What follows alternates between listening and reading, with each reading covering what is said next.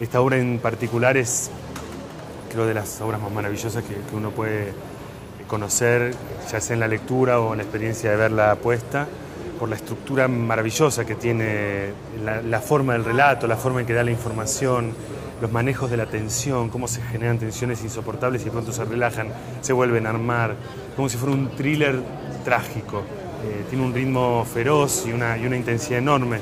La gente que viene a verla, la gente que se ha acercado a los ensayos, amigos, compañeros, salen temblando y eso es lo mejor que puede pasarnos al teatro en general, ¿no? que la gente salga movilizada. Creo que lo que sucede en el escenario podría sucedernos a cualquiera. Todos conocemos algo de esta familia, todas las familias tenemos un secreto, todos los hijos tenemos eh, relaciones complejas con nuestros padres, de admiración y de, exigencia también. Y todos los padres eh, han hecho un montón de cosas por sus hijos, aún las malas. Creo que entonces todo lo que sucede en la obra es absolutamente identificable para, para el espectador.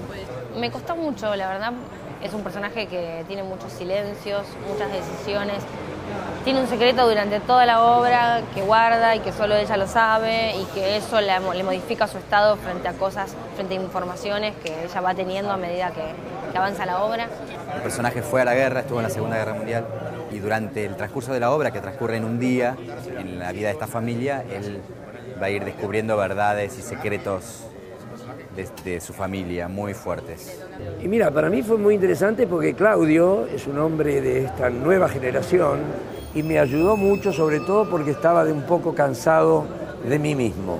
Quisiera eliminar un poco aquellas cosas que de alguna forma te dan éxito, que son tus vicios, tu manera de resolver situaciones teatrales. Entonces le dije, limpiame. Estoy harto de Lito Cruz, limpiame.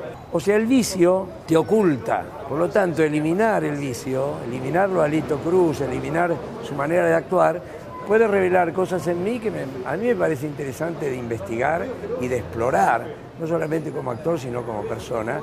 Ya, yo creo que la obra les va a gustar muchísimo. Va a gustar y que la van a disfrutar y que van a salir del teatro la gente hablando y haciendo conjeturas y es un teatro que moviliza mucho, ¿no?